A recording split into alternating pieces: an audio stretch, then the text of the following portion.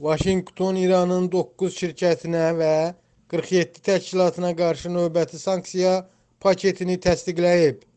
Biqaz Oxu Aza istinadən xəbər verir ki, bu barədə ABŞ-ın Maliyyə Nazirliyinə istinadən məlumat yayıb.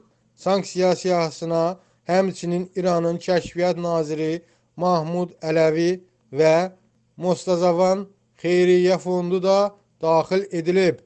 Vaşinqtonun məlumatına görə Mahmud Ələvi insan hüquqları pozuntusu və 2019-cu ildə İrandakı etiraz aksiyası iştirakçılarına zorakılıq tətbiq etməklə günahkar bilinir.